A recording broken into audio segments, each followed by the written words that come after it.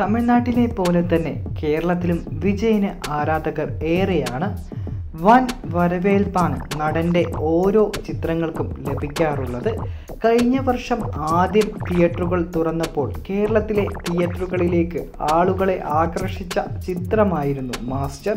കേരളത്തിൽ നിന്ന് പണം വാരിയ അന്യഭാഷ ചിത്രങ്ങളിൽ ഒന്നായി മാറാൻ വിജയുടെ മാസ്റ്ററിന് ആഴ്ചകൾ മാത്രമേ വേണ്ടി വന്നുള്ളൂ.